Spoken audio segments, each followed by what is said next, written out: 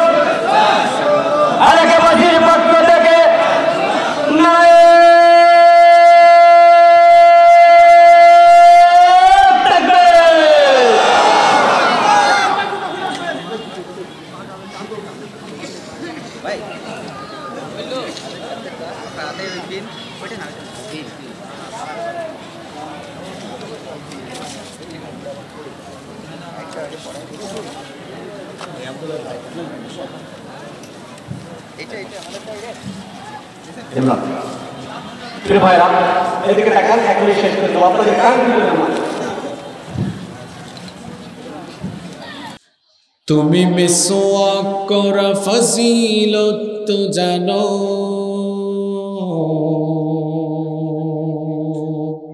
খাবার শেষে মিষ্টি মুখের হাদিসটাও মানো।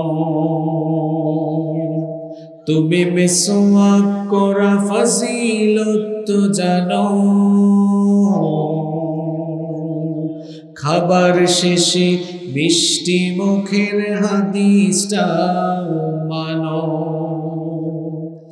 শুধু হক কথাটা উচ্চ স্বরে বলতে পারো না। অন্যায় দেখে বারুদ হয়ে জ্বলতে পারো না।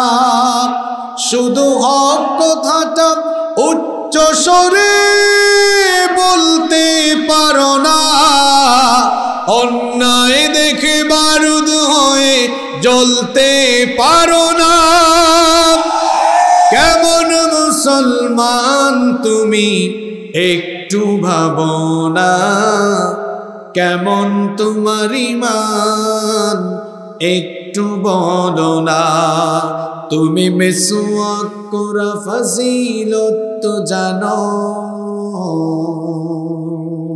খাবার শেষে মিষ্টি মুখের হাদিসটাও মানো। তুমি যে কালিমার দাওয়াত দিলে, বুকে নেই তুলে, দেখো সেই কালিমার দাওয়াত দিয়ে কত জনাজে জেলে।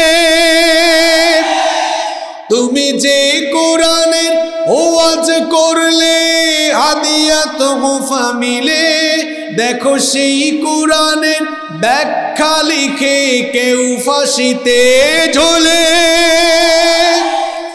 তুমি দুনিয়ার মুহে জীবনের মায়া ছাড়তে পারো না। তুমি দুনিয়ার মুহে জীবনের মায়া ছাড়তে পারো না। প্রভুর রাগে প্রাণ বিলিয়ে দিতে জানো না। কেমন মুসলমান তুমি? একটু ভাবনা কেমন তোমার ইমান একটু বলো না। তুমি মেসোয়াক করা ফাজিলত তো জানো। খাবার শেষে মিষ্টি মুখের হাদিসটাও মানো।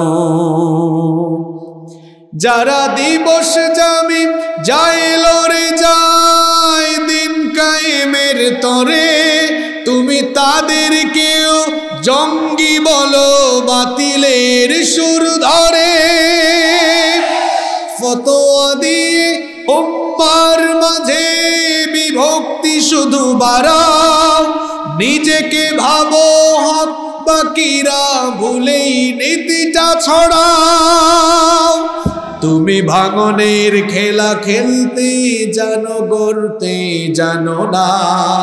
তুমি ভাঙনের খেলা খেলতে জানো, গড়তে জানো না।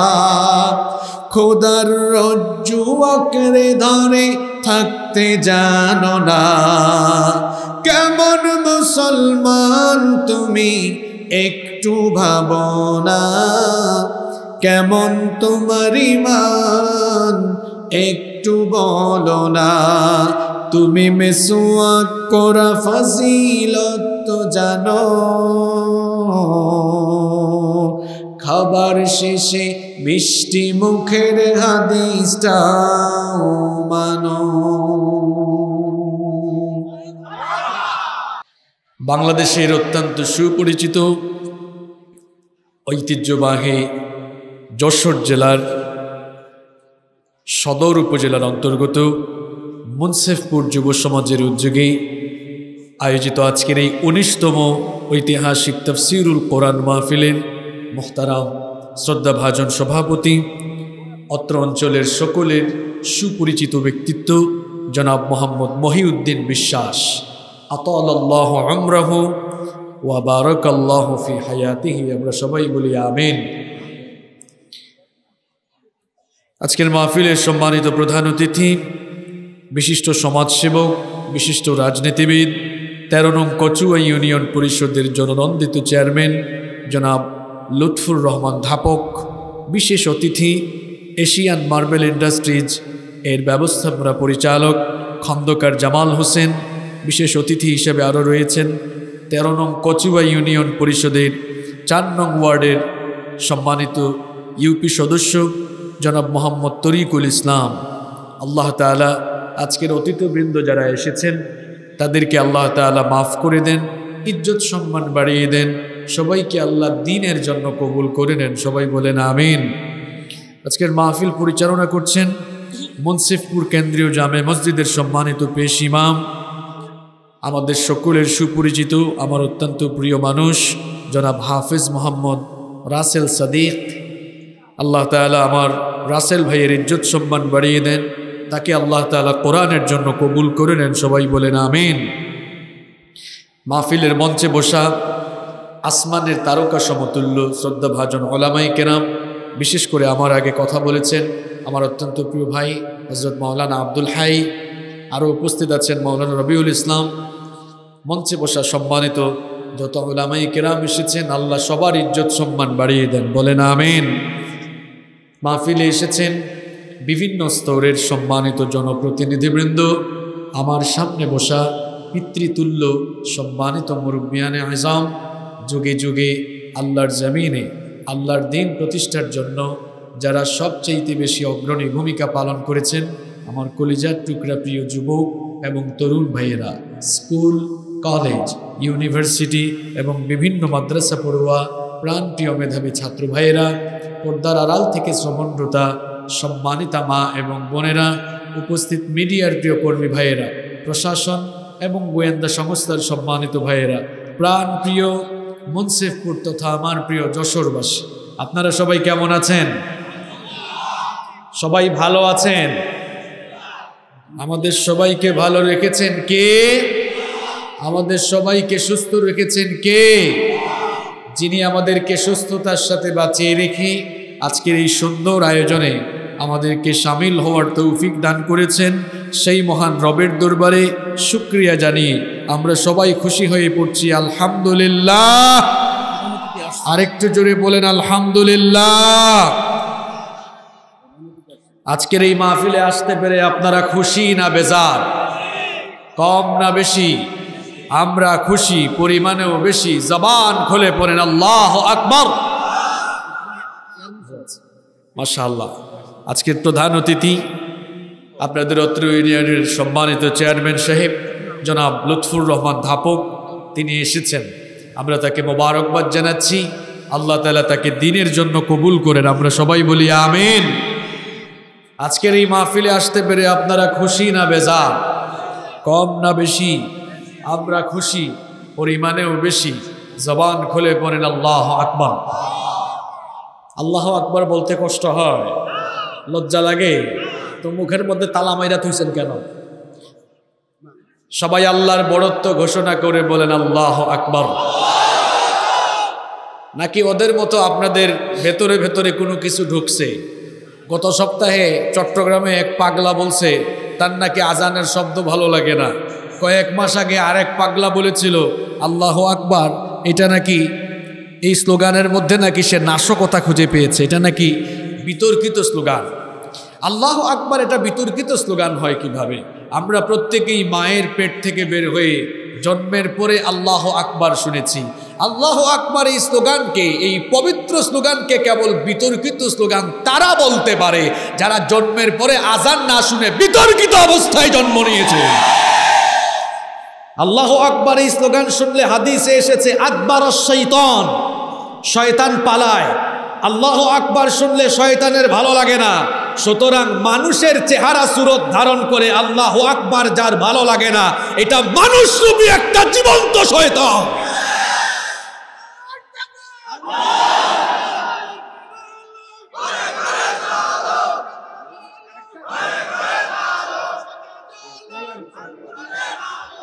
এটা লক্ষ লক্ষ মসজিদের দেশ।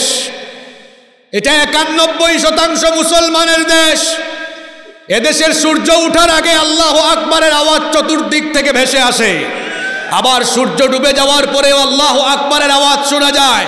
সুতরাং লক্ষ লক্ষ মসজিদের এই দেশে একানব্বই শতাংশ মুসলমানের এই দেশে আলেমুলামার এই দেশে আল্লাহ আকবার ভালো না লাগলে, যাদের ভালো লাগবে না এই দেশ ছেড়ে, তারা যেন উলুধ্বনির দেশে চলে যায়।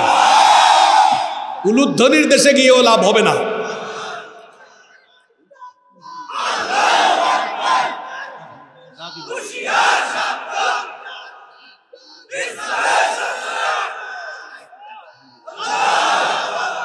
উলুধ্বনির দেশে গিয়েও লাভ হবে না। কারণ সেখানেও কুনায় কানায় মসজিদ আছে। তা আল্লাহ আকবার। শোনা থেকে যদি নিজেকে সেইফেরা রাখতে চায়, আমি বলি প্রায় সময়, তাহলে এদেরকে স্পিড বুডের সাথে বাইন্দা। এরপরে এদেরকে বঙ্গোপসাগরের মাঝখানে নিয়ে রেখে আসা উচিত। অথবা আটলান্টিকে রাখা উচিত, প্রশান্ত মহাসাগরে রাখা উচিত। কারণ যেখানে সাগরের বিশাল জলরাশি। ওখানে মানুষজন নাই তো, মসজিদ নাই, আজান নাই, তোরা ওখানেই থাক। আর যখন জুয়ার বা জলোচ্ছ্বাস উঠবে, ওখানেই তোরা মরে শেষ হয়ে যা, আমাদের কোনো আপত্তি নয় সম্মানিত ভাইয়েরা, আজকের এই মাহফিল যারা আয়োজন করেছেন, আমরা তাদেরকে মোবারকবাদ জানাচ্ছি। এবং যারা কষ্ট করে, পরিশ্রম করে আজকের এই মাহফিলকে সুন্দরভাবে বাস্তবায়ন করেছেন আমরা দোয়া করছি, আল্লাহ তালা তাদের সবার জীবনের গুণাগুলো মাফ করে দেন। বিশেষ করে এই মুন্সিফপুর যুব সমাজের বেশ কিছু ভাইয়েরা বেশি কষ্ট করেছেন। ইনামুল গাজী, মাসুদ পারভেজ, হাফেজ রাসেল সাদিক, মফিজ বিশ্বাস, কামারুজ্জামান রুবেল, আমজেদ মোল্লা, রাসেল খান, রইস মুন্সি, তরিকুল ইসলাম, রকিবউদ্দিন, রাশেদ খান, সাঈদ, ইদ্রিস, আসাদ, তরিকুল মেম্বার, নজরুল খান, আরিফ খান, হাফিজ খান বাবলু শেখ সহ আরও এলাকার সবাই সহযোগিতা করেছেন। যুবকরা কষ্ট করেছেন। জনপ্রতিনিধি যারা, চেয়ারম্যান সাহেব সহ, মেম্বার সাহেব সহ, সবাই সাপোর্ট দিয়েছেন প্রশাসনের ভাইয়েরা। সহযোগিতা করেছেন বলে আজকে এত সুন্দর মাহফিল আয়োজন হয়েছে, আলহামদুলিল্লাহ।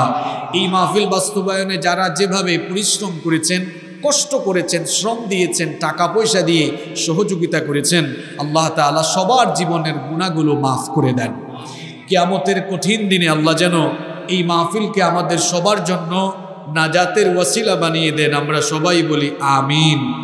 আমরা দেরি করব না, অপ্রাসঙ্গিক কথা বলব না, সরাসরি আমরা কোরআন থেকে কিছু আলোচনা শুনব ইনশা আল্লাহ তার আগে আপনারা বলেন তো, সবাই আমার কথা স্পষ্ট শুনতে পাচ্ছেন তো? পেছনে যারা আছেন, শোনা যায়? আলহামদুলিল্লাহ। যারা দাঁড়িয়ে আছেন কষ্ট করে বসে যান। ফাঁকা জায়গাগুলো পূরণ করে আমার ভাইয়েরা, আপনারা সামনে চলে আসেন। এই জমিন, এই যে জমিনে আমরা যারা বসেছি, সবাই আমার দিকে তাকান। আর একটু আওয়াজ করে বলেন তো, এই জমিনটা কার? আমরা সবাই কার? এই কোরআনটা কার? এই জমিনের উপরে বসে আমরা কোরআন শুনতেছি। কেয়ামতের দিন এই জমিন আল্লাহর দরবারে সাক্ষ্য দিবে আল্লাহ।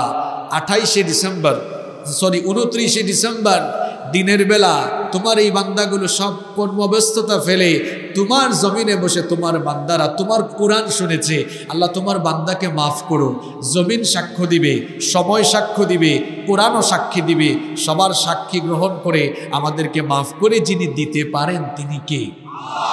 সুতরাং যে সকল ভাইয়েরা দাঁড়িয়ে আছেন, আমার বিশ্বাস আপনারা ভদ্রতার পরিচয় দিবেন। বসে থাকার গুরুত্বটা বলেছি যে এখানে বসে থাকলে কি পরিমাণ? ফায়দা পাবেন বেনিফিট পাবেন।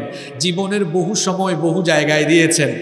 এখন কিছুক্ষণ কোরআনের জন্য বসেন। এখানে বসলে কোনো লস নাই। কোরআনের মাজমা, কোরআনের মজলিসে বসার মধ্যে কোনো লস আছে? কোনো লস নাই। বরং এখানে যতক্ষণ বসে থাকবেন, আল্লাহর রহমতের ফেরেস্তারা ততক্ষণ পাহারা দিবে। যতক্ষণ বসে থাকবেন, ততক্ষণ আপনাদের উপরে আল্লাহর রহমত নাজিল হবে। সুবাহান আল্লাহ সুতরাং বসে যান। সম্মানিত ভাইয়েরা এই পৃথিবী যেখানে আমরা বাস করছি, এই পৃথিবীতে আমরা চিরদিন থাকব না। এই পৃথিবী আমাদের মাথার উপরের বিশাল এই আসমান, পায়ের তোলার এই জমিন, এই মহাবিশ্বের সব কিছু একদিন থাকবে না। কেয়ামতের দিন যখন ইসরাফিল আলাইহিসালাম সিঙ্গায় ফুৎকার দিবেন সিংগার ফুৎকারে সব কিছু লণ্ডভণ্ড, চূর্ণ বিচূর্ণ, মেসাকার হয়ে গিয়ে, এই ইকোটা কমায় দেন একেবারে। সব কিছু লণ্ডভণ্ড, চূর্ণ বিচূর্ণ, মেসাকার হয়ে গিয়ে কেয়ামতের মহাপ্রলয়ঙ্কারী ঘটনা ঘটে যাবে। কেয়ামতের সেই মহাপ্রলয়ঙ্কারী ঘটনা যখন ঘটে যাবে, তখন সবাই আল্লাহর সামনে গিয়ে দাঁড়াবে। আর কেয়ামতের সেই ঘটনা কখন ঘটবে, এটা কি দুনিয়ার কেউ জানে? কেয়ামত কখন হবে, আমরা কি স্পেসিফিক করে বলতে পারব? যে এত সালের অমুক মাসের অত তারিখে কেয়ামত হবে? এটা কি বলা যাবে? না। কেয়ামতের ঘটনা কখন ঘটবে? নবী করিম আলাইহি ওয়াসাল্লাম যখন মক্কায় লোকদেরকে দাওয়াত দেওয়া শুরু করলেন, সবাইকে যখন তিনি কেয়ামতের কথা বলতেন, তারা তখন বলতো, আমাদেরকে যে কেয়ামতের কথা বলা হয়, সেই কেয়ামত কখন হবে? এটা আবার কোন দিন ঘটবে? কাফের মুশ্রিকরা যখন আল্লাহর নবীকে নিয়ে এইরকম কথা বলতে লাগল। আল্লাহ তালা আয়াত নাজিল করলেন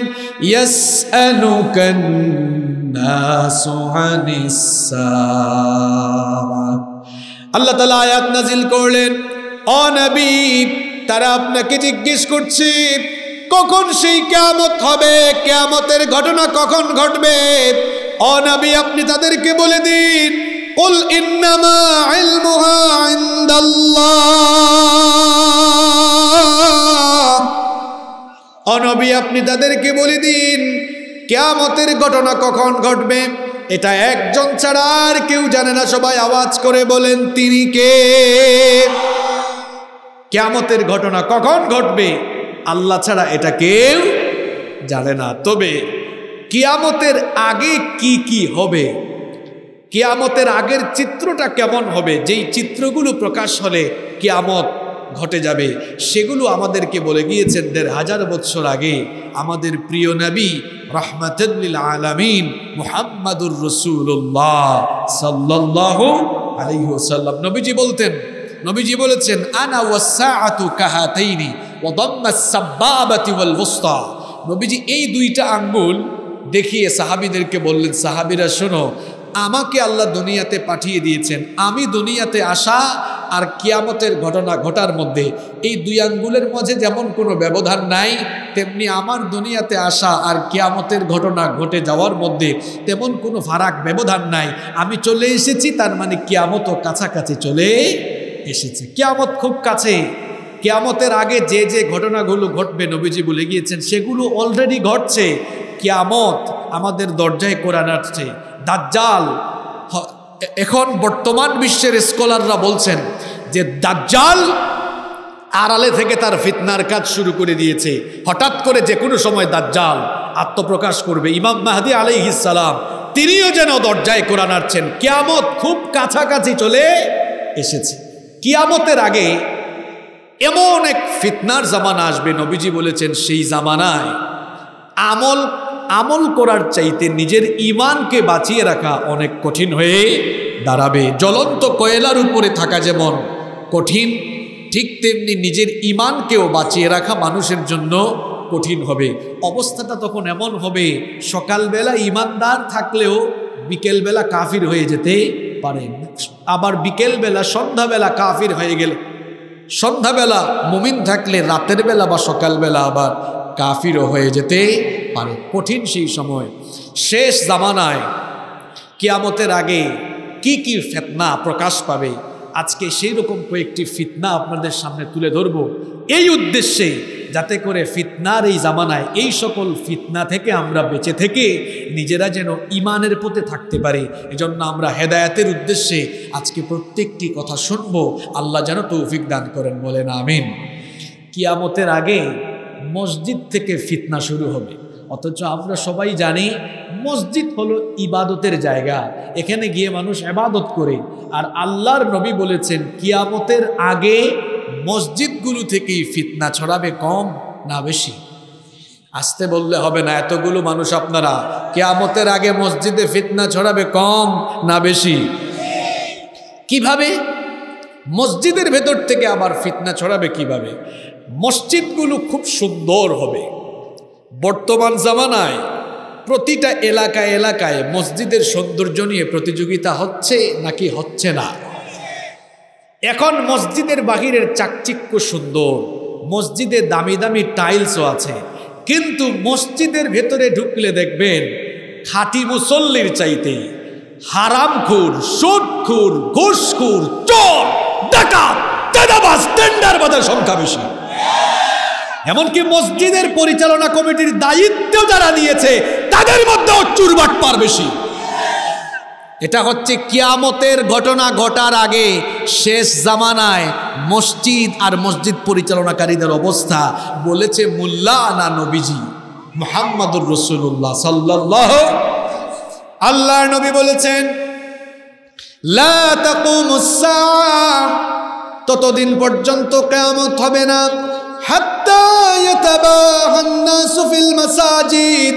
যতদিন না মানুষ মসজিদ নিয়ে পরস্পর পরস্পরের সাথে গর্ব না করে, অর্থাৎ আল্লাহ নবী বলেছেন, কেয়ামতের আগে মানুষ মসজিদ নিয়ে বড়াই করবে, মসজিদ নিয়ে মানুষ গর্ব করবে। মসজিদের সৌন্দর্য বর্ধনে মানুষ একজনের সাথে আরেকজন প্রতিযোগিতা করবে। দেখা যাবে মানুষ তাদের মসজিদগুলো নিয়ে এমন প্রতিযোগিতায় মত্ত হয়েছে। কোনো এলাকায় যদি কেউ দুই কোটি টাকা দিয়ে মসজিদ বানায়, পাশের এলাকার লোকেরা প্রতিযোগিতা করবে। তারা বলবে, ওরা দুই কোটি টাকা দিয়ে বানিয়েছে, আমরা চার কোটি টাকা দিয়ে মসজিদ বানাবো। কেউ যদি একশোটা গম্বুজ দেয়, আরেকজন বলবে, আমরা দুইশো তিনটা গম্বুজ দিব। এভাবে করে মসজিদের সৌন্দর্য বর্ধনে মানুষ প্রতিযোগিতা করবে। কিন্তু প্রকৃতপক্ষে মসজিদের ভেতরের অবস্থা হবে হেদায়াত শূন্য মসজিদগুলো নিয়ে মানুষ প্রতিযোগিতা করবে, কার চাইতে কার মসজিদকে কে কত সুন্দর বানাবে কেয়ামতের আগে মানুষগুলো সেই প্রতিযোগিতায় লিপ্ত হবে। কিন্তু প্রকৃতপক্ষে মসজিদের ভেতরের অবস্থা হবে এমন। মসজিদের বাহিরের টাইলসগুলো সুন্দর থাকবে, মসজিদটা আকর্ষণীয় থাকবে, গম্বুজওয়ালা মসজিদ অ্যাট্রাকটিভ মসজিদ, এমনকি মসজিদের ভেতরের ইন্টেরিয়রও সুন্দর হবে। কিন্তু মসজিদের ভেতরকার মুসল্লিদের অবস্থা কি হবে? নবীজি বলেছেন ইন্নামিন উলুউন আহলুল ফিসকে ফিল মাসাজিদ। নবীজি বলেছেন, কেয়ামতের একটা লক্ষণ হল, কেয়ামতের একটা আলামত হল, মসজিদের ভেতরে ভালো মানুষ নেককার মানুষের চাইতে পাপীদের ফাসেকদের গলার আওয়াজ বড় হবে। আসেন এবার বাস্তবতার দিকে ফিরে যায় এখন আমাদের মসজিদগুলোতে দেখবেন, ইমাম সাহেবের গলার আওয়াজের চাইতে মসজিদ কমিটির সুদখুর ঘুসখুর সভাপতি সেক্রেটারির গলার আওয়াজ অনেক বেশি হয়ে যায়। মসজিদের মিম্বরে ইমাম সাহেব সুদের বিরুদ্ধে কথা বলতে পারেন না, কারণ কমিটিতে সুদখোর আছে। মসজিদের মেম্বরে বসে ইমাম সাহেব ঘুষের বিরুদ্ধে কথা বলতে পারেন না, কারণ কমিটিতে অনেক বড় মাপের ঘুষখোর আছে। মসজিদের মেম্বরে বসে ইমাম সাহেব টেন্ডারবাজি, চাঁদাবাজির বিরুদ্ধে ওয়াজ করতে পারেন না, কারণ চাঁদাবাজ, টেন্ডারবাজ দুর্নীতিবাজ কমিটির মধ্যে আছে। ইমাম সাহেব বেশি কথা বললে দেখা যায় কমিটির লোকজন বলে, চাকরি চলে যাবে, কম কম কথা বলবেন, আসমানের উপরের কথা বলেন। আর জমিনের নিচের কথা বলেন আছে না নাই। এক ইমাম সাহেব একবার এক মসজিদে নতুন চাকরিতে ঢুকেছেন। ইমাম সাহেব প্রিপারেশন নিয়েছেন, আজকে সুদের বিরুদ্ধে ওয়াজ করবেন। যখনই ওয়াজ শুরু করেছেন, কমিটির একজন কাশি মারছে। সভাপতির কাশি দেখে ইমাম সাহেব বুঝছেন আমার ওয়াজ কমন পড়ে গেছে। ইমাম সাহেবও চালাক ছিলেন, সাথে সাথে ওয়াজের টপিক চেঞ্জ করে চলে গেছেন ঘুষের ওয়াজে। যখন ঘুষের ব্যাপারে আলোচনা শুরু করেছেন, সেক্রেটারি কাশি মারছেন। ইমাম সাহেব বুঝছে না রে বাপরে বাপ, কোন মসজিদে আসলাম? এই ওয়াজও কমন পড়ে গেছে। ইমাম সাহেব তাড়াতাড়ি করে এবার চলে গেলেন দুর্নীতির ওয়াজে। এখন দুর্নীতিবাজ কুষাধ্যক্ষ হ্যাঁ কেশিয়ার সেও কাশি মারছে। ইমাম সাহেব দেখলেন, ঘড়ির দিকে তাকায়া যে প্রায় একটা বিষ বাসতেছে তিনিও বললেন ওয়াখির দাওয়ানা আনিল হামদুলিল্লাহ রব্বিল আলামিন। যে ইমাম সাহেব রসুলুল্লাহর পবিত্র মিম্বরে বসে সুদখুর, ঘুষখুর চোর বাটপার কমিটিকে ভয় করে হক কথা বলতে পারেন না ভাই। অনুরোধ করছি আপনাকে, রসুলুল্লাহর পবিত্র মিম্বর ছেড়ে দিয়ে আপনি মাটি কেটে ভাত খান, এটা আপনার জন্য সম্মানের হবে। আর যদি রসুলুল্লাহর পবিত্র মিম্বরে আপনি বসেন, তাহলে সুদখুর, ঘুষখুর, চাঁদাবাজ, টেন্ডারবাজ এই রকম কমিটির কোনো লোককে ভয় না করে, তুয়াক্কা না করে জবানটা খুলে সৎ সাহস নিয়ে উচ্চ স্বরে হক কথা আপনাকে বলতেই হবে। নইলে আপনি চলে যান। মাটি কাইটা ভাত খান আপনি। এটা আপনার জন্য সম্মানের হবে। আল্লাহ বুঝার তৌফিক দান করেন। কেয়ামতের আগে মসজিদগুলোর অবস্থা এমন হবে, নবীজি বলেছেন ইমানদারের গলার আওয়াজের চাইতে মসজিদের ভেতরে পাপিদের গলার আওয়াজ বেশি হয়ে যাবে। ইমাম সাহেবরা মন খুলে কথা বলতে পারবেন না। এটা কিয়ামতের আগের জামানার মসজিদ। মসজিদ এত সুন্দর হয়। লক্ষ লক্ষ টাকা দিয়ে মসজিদ বানায়াক দুই কোটি, চার কোটি, পাঁচ কোটি টাকা দিয়ে মসজিদ বানাইয়া ওই মসজিদের ইমাম সাহেবের পাঁচ হাজার টাকা বেতন কমিটি মাসের পর মাস আটকিয়ে দিয়ে ইমাম সাহেবের উপরে জুলুম করবে, এটা শেষ জামানার আলাম কি বলেন, এরকম আছে না নাই? পাঁচ কোটি টাকা দিয়ে মসজিদ বানিয়েছে, কিন্তু ইমামের পাঁচ হাজার টাকা বেতন পাঁচ মাস আটকায় রাখছে। আছে? আছে না নাই? নবীজি বলেছেন কেয়ামতের আগে মসজিদগুলো ফেতনার জায়গা হয়ে যাবে। কীরকম ফেতনার জায়গা? সত্য কথা মসজিদে বলা যাবে না। মসজিদে হেদায়েতি কোনো কর্মসূচি থাকবে না। আহারে রসুলুল্লাহর সময়ের মসজিদ আর আমাদের মসজিদ আজ একরকম নয়। আল্লাহ রসুলের মসজিদের যে বৈশিষ্ট্য ছিল, আমাদের মসজিদের বৈশিষ্ট্যগুলো আজ সেরকম নয়। কির কেন? আল্লাহ রসুলের মসজিদে শুধু পাঁচ ওয়াক্ত নামাজ হতো না। নামাজের পাশাপাশি আল্লাহ রসুলের মসজিদে কোরআনের দার্স হতো, কোরআনের তালিম হতো, সেখানে দিনই আলোচনা হেলমি আলোচনা হতো। নবীজি সেই মসজিদে বিচার ফয়সলা করতেন। অনেকের বিয়ে শাদিও নবীজি এই মসজিদে পড়িয়েছেন। মসজিদ শুধু নামাজের জায়গা ছিল না। রসুল্লাহর সময়ে মসজিদ ছিল নামাজের জায়গা। এটা ছিল সামাজিক সকল কর্মসূচির জায়গা। এমনকি মদিনার রাষ্ট্রপ্রধান নবীজি ছিলেন, রাষ্ট্র পরিচালনা করেছেন। নবীজির প্রধান কেন্দ্র কার্যালয়টা ছিল মসজিদে নবমীতে। সুবাহান আল্লাহ আমরা কি করেছি? বর্তমান সময়ে মসজিদকে আমরা শুধু পাঁচ ভক্ত নামাজের জায়গা বানিয়েছি। আমরা যদি মসজিদগুলোতে একটু কোরআন তালিমের, কোরআনের দার্সের বা এলমি আলোচনার আমরা যদি একটু ব্যবস্থা করতে পারতাম, তাহলে মানুষ আরও বেশি হেদায়ত পেত। অবশ্য মানুষও মসজিদের ভেতরে কোরআনের দার্স এর আয়োজন করার সাহস পায় না। কারণ আমাদের দেশে আবু জাহালের এমন কিছু চরিত্র লালনকারী লোকেরা আছে, যারা কোরআন নিয়ে আট দশজন লোক একসাথে বসলে তারা নাশকতার গন্ধ খুঁজে বেড়ায়। আল্লাহর কিতাবের আলোচনায় যারা নাশকতার গন্ধ খুঁজে বেড়ায়, এরা হচ্ছে এই জামানার, এই যুগের নব্য আবু জাহাল।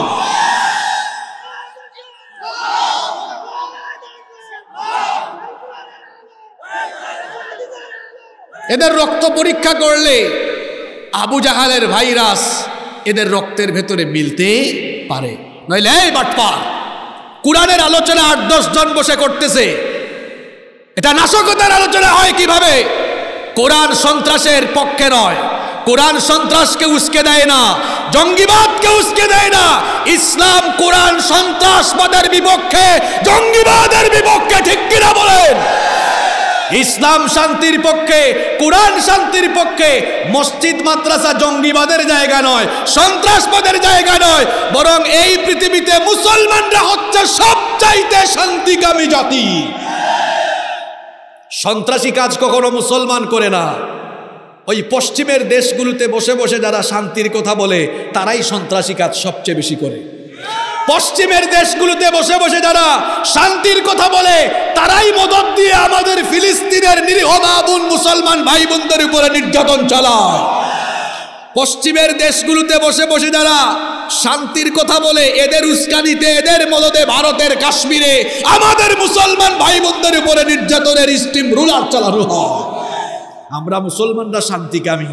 আমরা কখনো বিশৃঙ্খলতায় বিশ্বাসী নই। আমরা সন্ত্রাসবাদকে উস্কে দেই না। সন্ত্রাসী কাজে জড়িয়ে সন্ত্রাসী কাজে জড়িয়ে পড়ার জন্য কাউকে বলিও না।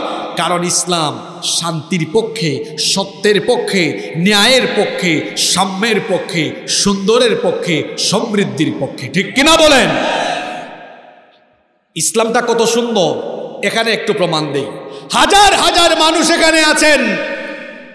কোনো বিশৃঙ্খলা হচ্ছে না। কেউ কারও সাথে মারামারি করছে না। এটা যদি এখানে দেখেন, পুলিশের ভাইয়েরা আমাদেরকে প্রোটোকল নিরাপত্তা দেওয়াও লাগছে না। এর চেয়ে আরও বড় বড় প্রোগ্রাম বাংলাদেশে হয়। আপনারা দেখেন নাই, বিশ পঁচিশ দিন আগে বাংলাদেশের সর্ববৃহৎ মাহফিল কক্সবাজারের পেকুয়ায় অনুষ্ঠিত হয়েছে। দেখছেন না আপনারা? ফেসবুকে লক্ষ লক্ষ মানুষ হয়েছে সেখানে। লক্ষ লক্ষ মানুষ। এত মানুষ সেখানে বাংলাদেশের নন্দিত সকল ওলামাদের মিলন মেলা সেখানে ঘটেছে। লক্ষ লক্ষ মানুষ হয়েছে নিরাপত্তা লাগে না, সেখানে প্রোটোকল দেওয়া লাগে না। যিনি যে সকল ওলামারা এসেছেন, তারাও নিজে নিজে এসেছেন, শ্রোতারাও নিজে নিজে এসেছেন, সবাই আবার সুন্দরভাবে চলেও গিয়েছেন। কিন্তু দেখা যায়, কোরআনের সমাবেশ ছাড়া অন্য সমাবেশ হলে এক গ্রুপ আরেক গ্রুপের সাথে মারামারি করতে করতে চেয়ারও ভাঙ্গাভাঙ্গি হয়ে যায়। আছে না নাই? যেখানে কোরআন আছে সেখানে শান্তি আছে, যেখানে ইসলাম আছে। সেখানেই শান্তি আছে। শেষ জামানায় মসজিদগুলো অবস্থা এমন হবে, ফিতনা। আসুন আমরা মসজিদগুলোকে নবীজির মসজিদের মতো বৈশিষ্ট্য বৈশিষ্ট্যমণ্ডিত করি। মসজিদগুলোতে আমরা যদি এই যে সারা বছরে একটা মাহফিলের আয়োজন করেছেন, নিঃসন্দেহে এটা ভালো কাজ, এটা প্রশংসার দাবি রাখে। কিন্তু আমরা যদি আমাদের মসজিদগুলোতে কোরআন শিক্ষা কেন্দ্র চালু করতাম আমাদের অনেক ভাইয়েরা, বোনেরা আছেন যারা বিশুদ্ধ করে এখনও কোরআন পড়তে পারেন না।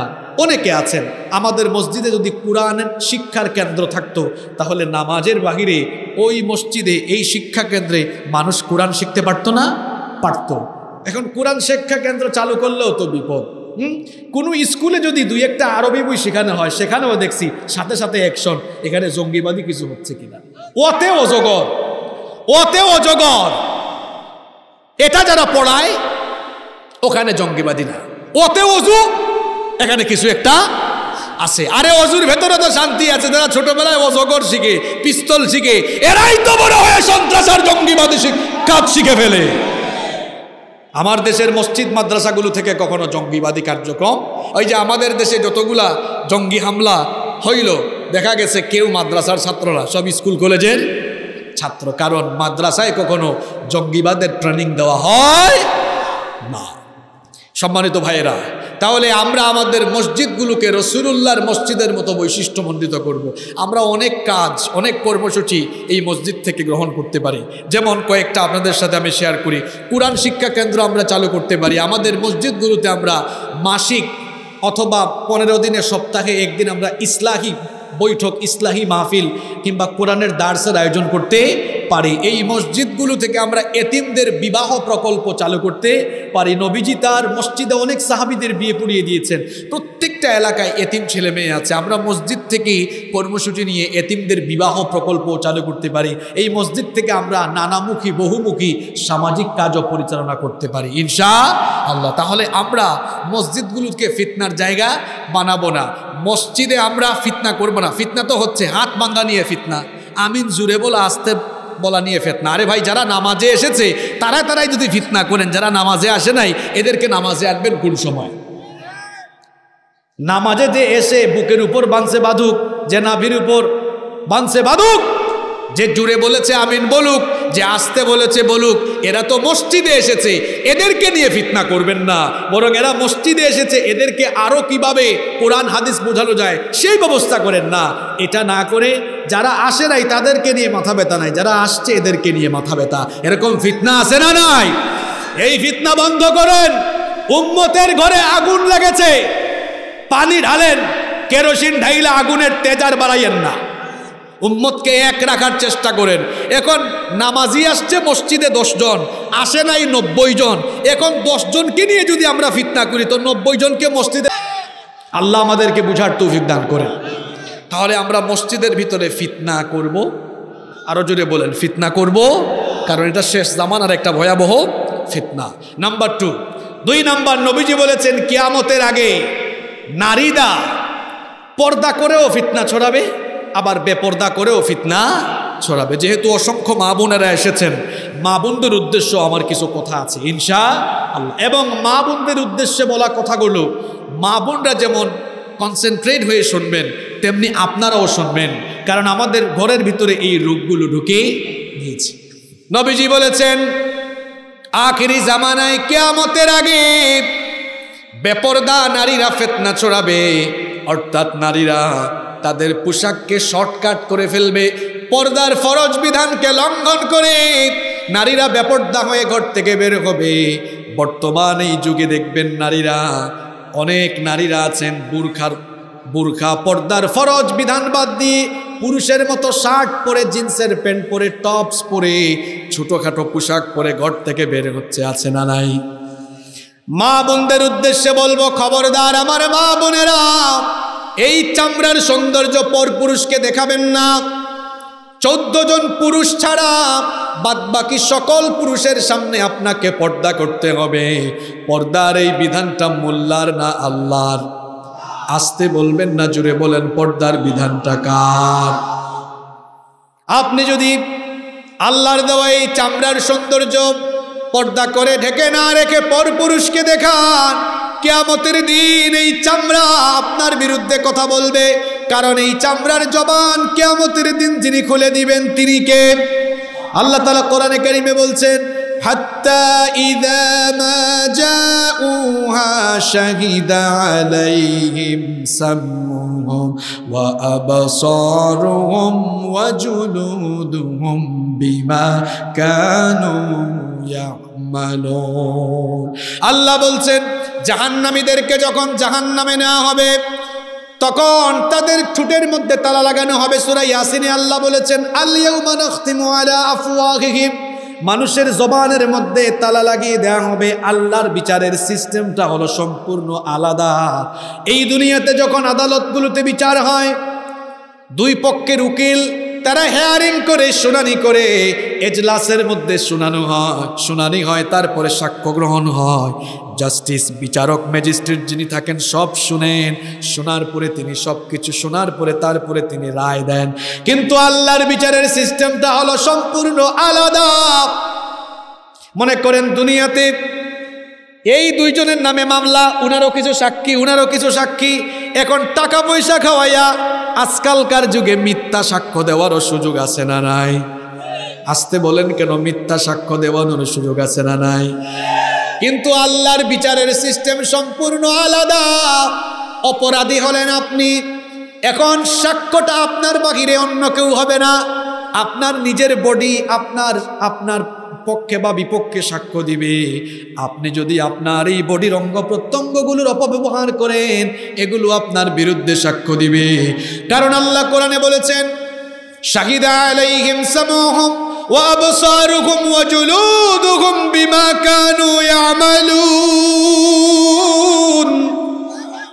আল্লাহ বলেছেন, জাহান্নামীদেরকে যখন বিচার করা হবে, তখন তাদের কান কান কথা বলবে, তাদের চোখ কথা বলবে, চোখ সাক্ষ্য দিবে, কান সাক্ষ্য দিবে।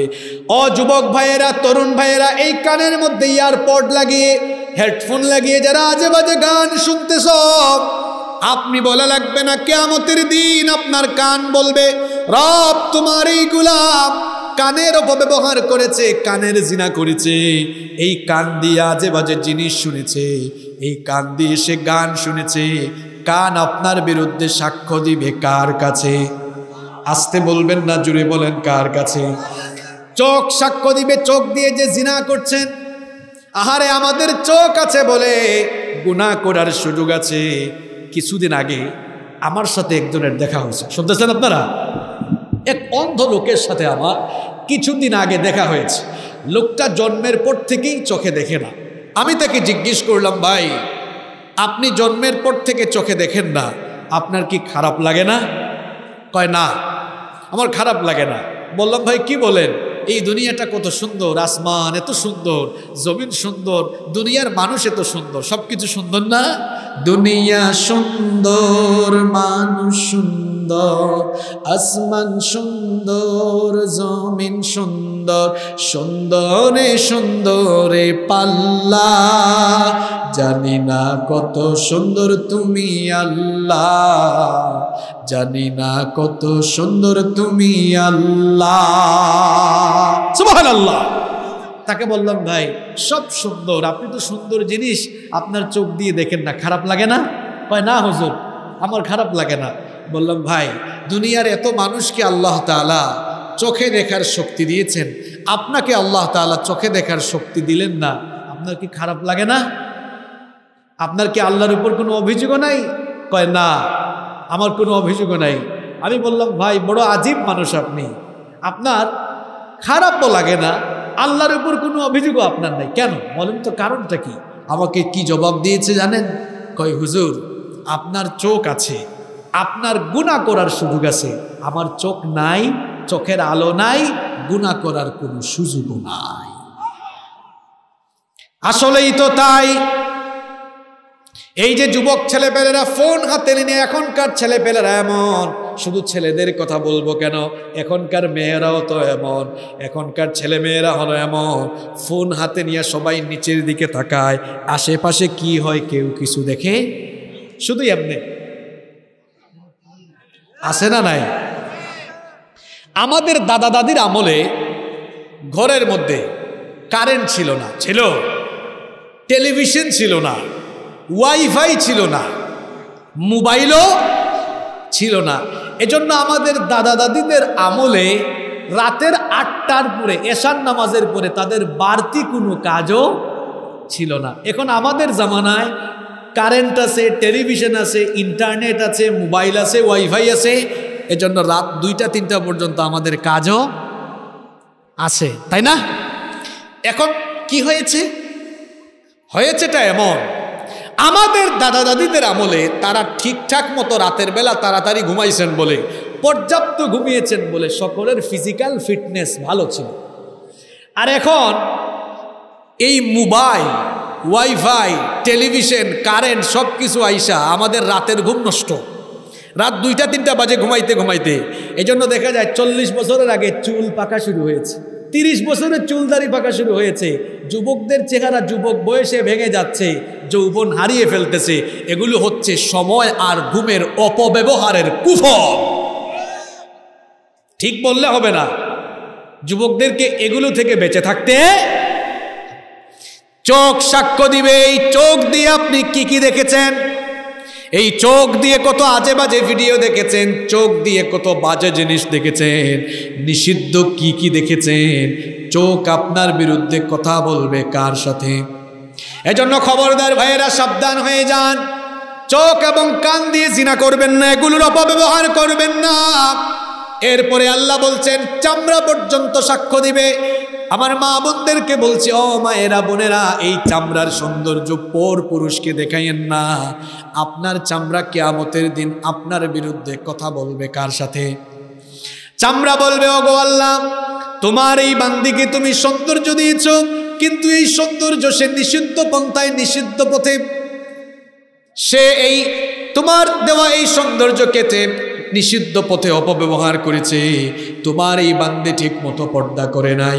চামড়া সাক্ষ্য দিবে, যখন চামড়া আপনার বিরুদ্ধে সাক্ষ্য দিবে, আল্লাহ কোরআনে বলেছেন, জাহান্নামীরা তখন বলবে কলুলি জুলুদিহিম লিমা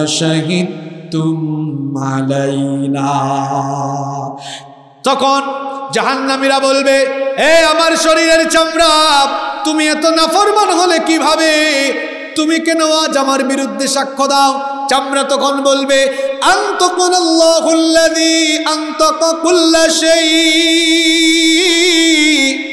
চামড়া বলবে, যিনি জবান শক্তি, বাক শক্তি দাদা তিনি আমার জবান আজ খুলে দিয়েছেন। যেন তোমার সব অপকর্ম আমি ফাঁস করে দেই। ও মায়েরা, ও বোনেরা, খবরদার এই জন্য চামড়ার সৌন্দর্য মানুষকে দেখাইয়েন না।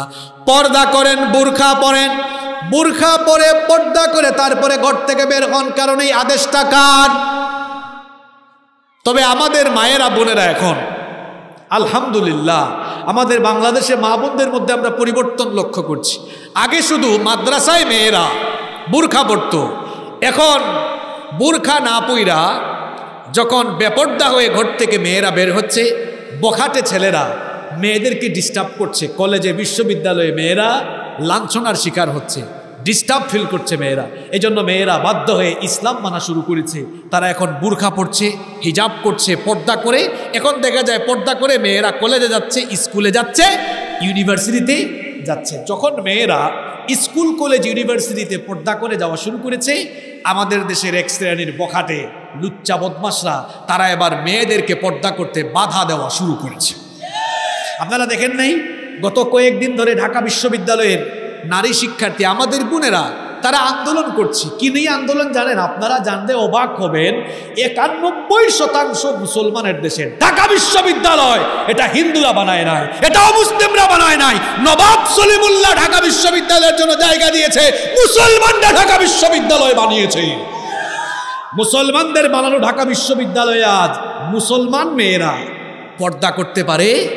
না, বড় আজীব ব্যাপার, ধর্মচর্চা, এটা প্রত্যেকটি মানুষের সাংবিধানিক অধিকার, নাগরিক অধিকার।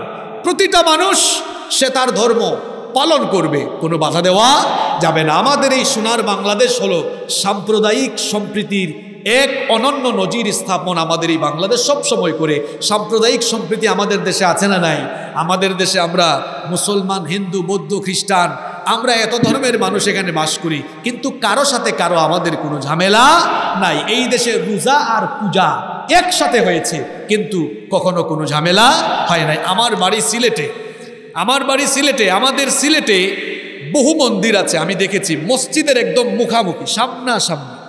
বহু মসজিদ মন্দির আমি দেখেছি। কিন্তু আমার সিলেটে কোনোদিন আমার জন্মের পরে আজ পর্যন্ত কখনো হিন্দু মুসলমানের দাঙ্গা আমরা দেখি নাই। এটা হচ্ছে আমাদের বাংলাদেশের সৌন্দর্য। আমরা এখানে হিন্দু, মুসলমান, বৌদ্ধ, খ্রিস্টান সব জাতির লোকেরা আমরা সাম্প্রদায়িক সম্প্রীতি রক্ষা করে চলি। ঠিক কিনা কিন্তু এই দেশে একানব্বই শতাংশ মুসলমানের এই দেশে মুসলমান মেয়েরা পর্দার জন্য দাবি তুলবে। আন্দোলন করবে, এটা তো বড় আশ্চর্য কথা। আপনারা যারা মেয়ের বাবা আছেন এখানে, বলেন তো বাবা জানরা আব্বা জানরা কথা বলেন আপনারা আমার সাথে, জবাব দিয়েন সবাই। আপনাদের মেয়েরা স্কুল, কলেজে, বিশ্ববিদ্যালয়ে গিয়ে বখাটেদের দ্বারা আপনাদের মেয়েরা কষ্ট পাক, লাঞ্ছনার শিকার হোক, এটা আপনারা চান? এত আস্তে আওয়াজ করলে হবে না, আপনারা এটা চান? আরও জোরে বলতে হবে, এটা আপনারা চান? আপনাদের মেয়েরা কলেজে বিশ্ববিদ্যালয়ে নিরাপদ থাকুক, আপনারা চান কি চান না? আপনাদের মেয়েরা এখন পর্দা করে যাচ্ছে, বখাটেদের থেকে বাঁচার জন্য, ইফটিজিং থেকে বাঁচার জন্য, জিনা থেকে বাঁচবার জন্য এখন বিশ্ববিদ্যালয়ে নোটিশ দেওয়া হচ্ছে। বোরখা পরে পর্দা করে আসা যাবে না। মিয়া, কেন আসা যাবে না? কেন আসা যাবে না? একানব্বই শতাংশ মুসলমানের দেশে কেন আসতে পারবে না? এরা কেন মেয়েদেরকে বেপর্দা দেখতে চায়? ওই যে আমি একটু কঠিন করে কথা বলি আর কি। শেয়াল সব সময় মুরগির স্বাধীনতা চায়। শেয়াল যেমন সব সময় মুরগির স্বাধীনতা চায়, তেমনি বখাটে, লুচ্চা এবং বদমাসরা সব সময় মেয়েদেরকে তাদের সামনে বেপর্দা অবস্থায় দেখতে চায়। যদি হিজাব ছাড়া বেপর্দা অবস্থায় নারীদেরকে দেখতে মন চায়, বাসায় গিয়ে তোর বউকে তুই দেখ। আমাদের বোনদেরকে বিশ্ববিদ্যালয় ক্যাম্পাসে পর্দায় বাধা দেওয়ার অধিকার কে তোমাদেরকে দিয়েছে? যদি অচিরেই এই কার্যক্রম বন্ধ করা না হয়, তাহলে এদেশের একানব্বই শতাংশ মুসলমান, তাদের মা বোন, তাদের বউ, তাদের বোনদের ইজ্জত আর সতীত্ব রক্ষার জন্য, বখাটেদের থেকে বাঁচবার জন্য মেয়েরা যে পর্দা করছে, পর্দায় যারা বাধাগ্রস্ত করবে, বাধা দিবে, প্রয়োজনে এদেশের তৌহিদবাদী জনতা এদের বিরুদ্ধে আন্দোলনে। নামবে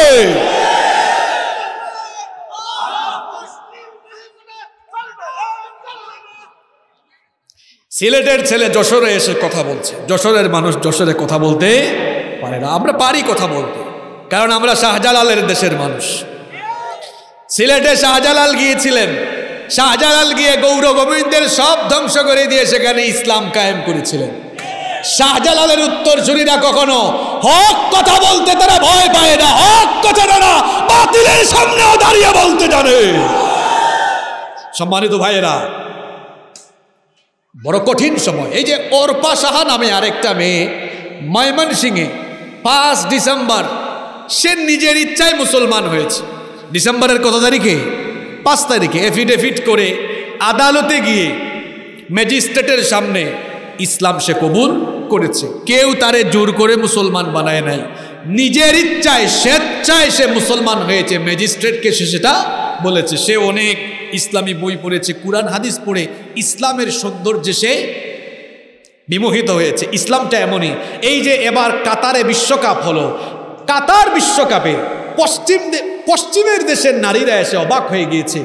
তারা এতদিন ভাবত, মুসলমানরা রক্ষণশীল, মুসলমানরা মহিলাদের উপর খুব নির্যাতন করে। কিন্তু কাতারে গিয়ে তারা দেখল, হায় হায়, এটা এমন দেশে আসছি, মুসলিম প্রধান দেশ। এখানে কোরআনের আইনের ভয়ে পুরুষ মানুষ নারীদেরকে ডিস্টার্ব করে? না। আর পশ্চিমের দেশগুলোতে এক একজনের বউ থাকার পরেও গার্লফ্রেন্ড আছে বিশটা, তিরিশটা। রাস্তাঘাটে জিনা চলতেছে। কাতারে এসে দেখল কোরআনের শাসনের সৌন্দর্যে এখানে কোনো জিনা নাই। পশ্চিমের দেশ থেকে নারীরা এসে নির্বিঘ্নে চলাফেরা করছে, নিরাপদ। শেষ পর্যন্ত তারাও ইসলামের সৌন্দর্যে, তারাও মুগ্ধ হয়ে বলেছে, ইসলামেই শান্তি রয়েছে, কোরআনেই শান্তি। এদেশে কোরআনের শাসন, ইসলামের শাসন চলছে বলে আমরা পশ্চিম থেকে এসেও শান্তিতে আছি, নিরাপদে আছি। আলহামদুলিল্লাহ। যেখানে ইসলাম আছে, সেখানে শান্তি আছে। আমার বোনদেরকে বলব, আমার বোনেরা, বেপর্দা হয়ে ঘর থেকে বেরোয়েন না বোনেরা। আপনার এই চামড়াটা জলে পুড়ে ছাই হয়ে যাবে। এই চামড়া আপনার বিরুদ্ধে কেয়ামতে কথা বলবে। যে চামড়ার মধ্যে এত আটা ময়দা, কিছু মহিলারা তো আছে, যারা বেপর্দা হয়ে বের হয় চামড়ার মধ্যে এত মেকআপ এত আটা ময়দা মাখে, আটা ময়দা মাখলে লাগে একরকম, আটা ময়দা ছুটাই ফেললে লাগে আরেক রকম। তো এইরকম আটা ময়দা মাইখা মাইখা ঘর থেকে বের হয়েছেন এই চামড়াগুলো কেয়ামতে আপনার বিরুদ্ধে কথা বলবে। আমার বোনেরা, এজন্য আসুন, একটু হেদায়াত গ্রহণ করি। আমরা যেন বেপর্দা হয়ে ঘর থেকে না না বের হই। আল্লাহ সবাইকে তৌফিক দেন। আরও আসতে বলেন, আমিন। আমি বলেছিলাম, কিয়ামতের আগে শেষ জামানায় বেপর্দা নারীরা যেমন ফেতনা ছড়াবে, পর্দা করেও কিছু নারী ফিতনা। আপনারা বলবেন, হুজুর, এটা আমার কেমন কথা? পর্দা করে কেমনে ফিতনা ছড়াবে? নবীজি বলেছেন, শেষ জামানার নারীরা পর্দা করেও কেমন ফেতনা ছড়াবে শোনো। নবীজি বলেছেন নিসা ওহম কাসিয়াতুন আরিয়াত। শেষ জামানার নারীরা তারা পর্দা করবে এমন ভাবে বুরখা পরলেও এত টাইট ফিটিং বুরখা থাকবে। নবীজি বলেছেন, শেষ জামানার নারীরা এমন হবে, কাপড় পরলেও তাদেরকে উলঙ্গ লাগবে।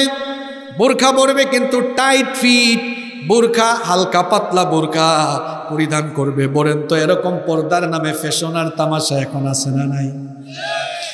এমন টাইট ফিট বোরখা পরে শরীরের ভেতরের গুরুত্বপূর্ণ অঙ্গগুলো বোঝা যায়, তাহলে এটা পর্দা হলো না। পর্দার নামে ফাইসলামি হলো, এই জন্য আমার বোনদেরকে বলব, খবরদার লাল, নীল, বেগুনি বিভিন্ন কালারের বোরখা পরবেন না, একদম কালো রঙের বোরখা পরবেন। পাতলা নয়, বরং একটু ভারী বোরখা পরবেন যাতে করে শরীর দেখা না যায়। টাইট ফিট নয়, বরং ঢিলে ঢালা বোরখা ব্যবহার করবেন। কালো রঙের বোরখা পরবেন। খবরদার পর্দা করে ফেতনা ছড়াবেন না। নবীজি বলেছেন, শেষ জামানার নারীরা এমন হবে।